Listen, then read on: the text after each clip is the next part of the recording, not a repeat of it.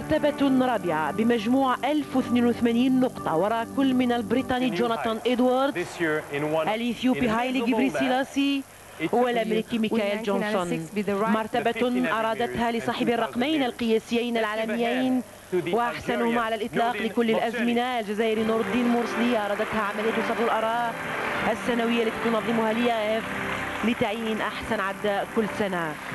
نور الدين مرسلي وبصدر رحب قال بأن هذه المرتبة تزيده ثقة في النفس خاصة وهو على أبواب أولمبياد أتلانتا 96 وبأنه سعيد جدا للبريطاني إدواردز ويعد الجميع بمفاجآت في المواعيد القادمة.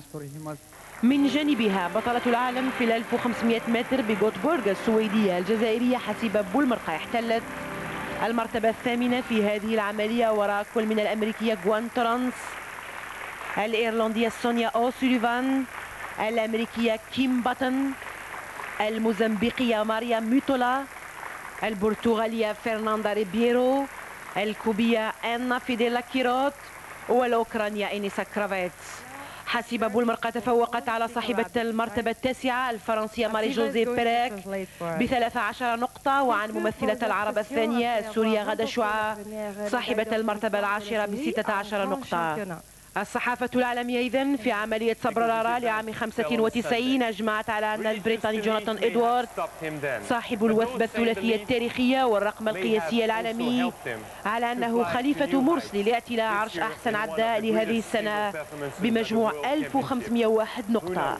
ليثري سجله الذهبي بلقب ثاني بعد أن عين أحسن عداء أوروبي لعام 95 لدى سيدات ألعاب القوى شرف تاج هذا العام عاد لأنيقة المسافات السريعة الأمريكية غوين تورنس وهي أجمل هدية تقدم لها في عيد ميلادها الثلاثين على وقع تصفيقات نجوم هذا العالم وتحت أضواء قاعة موناكو الكاشفة.